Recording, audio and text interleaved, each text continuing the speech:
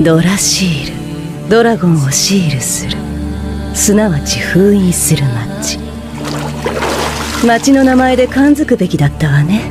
白魔導士さん。あなたの役目はここで終わりよ。さてアルドちゃんも復活したし。次は何をしようかしら。